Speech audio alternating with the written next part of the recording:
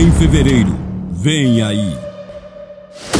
Mais uma novidade Fé Perfeita.